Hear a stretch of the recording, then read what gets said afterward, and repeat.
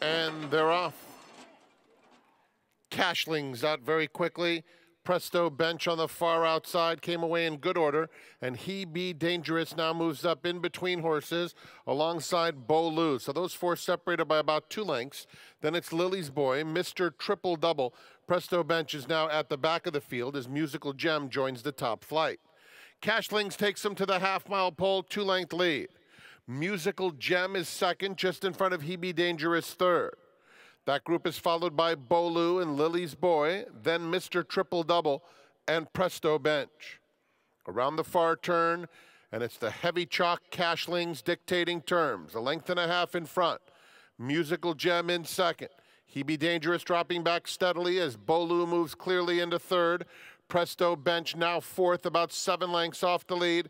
Then Mr. Triple Double and Lily's Boy turning for home. Cashlings in command.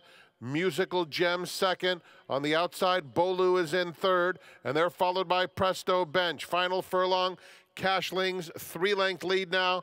Battle is for second. At the rail, Musical Gem, Bolu is third, trying to get into that second spot in the final going. It's all Cashlings.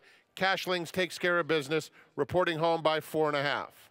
Bolu got up for second. Musical Gem, Presto Bench, and Mr. Triple Double.